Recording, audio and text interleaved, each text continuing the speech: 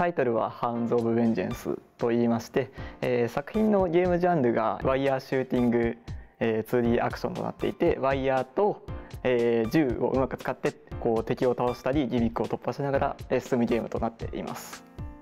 このゲームがどうやって作られたかっていうのワークフローとしてはまず最初に自分がこういう企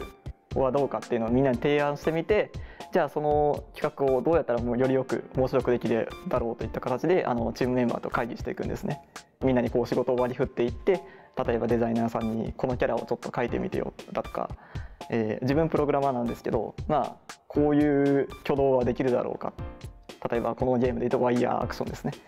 このワイヤーアクションは実現可能かっていうのをやったりしてその情報連絡のえ積み重ねでこうどんどんどんどん作っていって最終的にこのゲームが出来上がったといった形ですね。個人作業をしてこうみんなで一回集めて作品の評価をしたりしてその後にこうまた個人作業が入ってっていったものの繰り返しですね。このゲームを作る上で、まあ、エンジン使うソフトですねは、えーと、Unity になってまして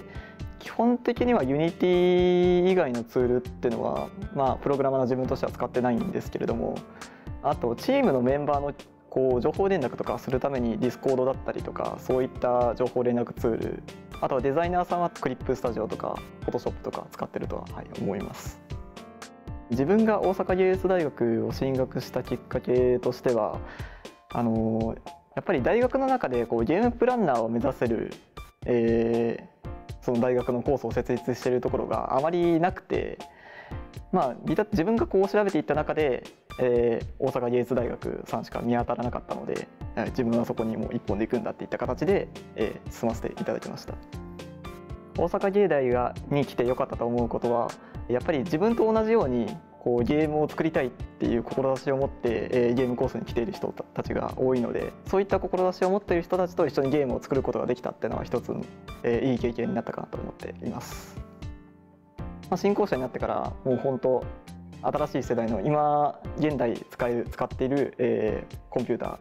パソコンになったのでやっぱりゲームの出力といったものも速くなったのでその作業のレスポンスが速くなったっていうのは一つ環境が上がって良かったことかなと思います、えー、卒業後の進路はゲーム会社に、はい、自分は行くことになっていて、えー、そのゲーム会社でより良いゲームを作ろうと、はい、思っておりますそのゲームをプレイしている人たちが、えー、楽しんでくれるっていうのが、えー、優先している人種なので